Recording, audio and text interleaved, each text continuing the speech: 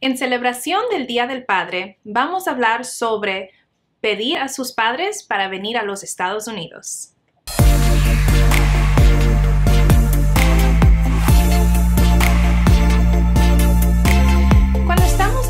Peticiones entre familia, también eso incluye pidiendo a su papá o que su papá le pida a un hijo para venir aquí a los Estados Unidos. Estos procesos de familia, especialmente durante el Día del Padre, es algo muy importante y muy emocional, ¿verdad? Claro, hay dos tipos de peticiones. la petición familiar es la petición dentro de los Estados Unidos que viene siendo un ajuste y fuera de los Estados Unidos es el proceso consular. Hoy día estamos hablando sobre los procesos consulares cuando un hijo quiere pedir a un papá fuera de los Estados Unidos recuerden que realmente la persona tiene que calificar para ese proceso. Papá tiene que calificar. Eso significa que papá no puede tener ningún antecedente penal anterior grave. Tampoco puede tener ningún incidente con migración. Regresadas, a veces está bien que tenga deportaciones o regresadas anteriores, pero sí depende en el tipo de regresada, tipo de deportación y el tiempo que uno ha estado o permanecido fuera de los Estados Unidos. Y cuando estamos hablando de eso, esas deportaciones o algo antiguo, ¿hay algún perdón que puedan pedir?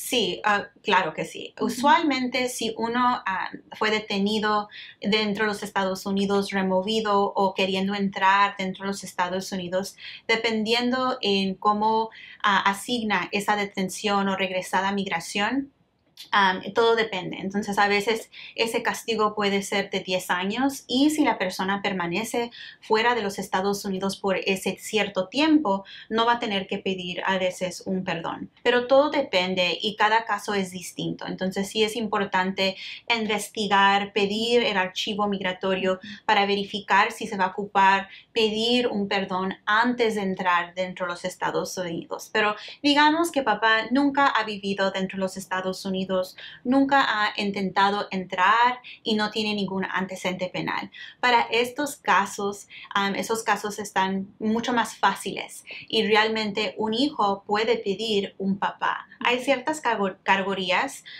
de preferencia y otras peticiones que son inmediatas. cuando un hijo mayor de edad, 21 años de edad, nacido dentro de los Estados Unidos, pide un papá, esa petición es inmediata lo que significa eso es que puede venir esa persona en cuanto la solicitud es procesada. Y también depende del tiempo del consulado, porque sí tienen que presentarse a una entrevista ante el consulado. Pero como indicó mi colega, cada caso es distinto y dependiendo de los hechos en el caso, es muy importante siempre hablar con un abogado de inmigración para asegurar tener todas las herramientas a su alcance para que su papá pueda llegar a los Estados Unidos. Como indicamos, estamos celebrando el Día del Padre y es importante tener esa reunificación de familia.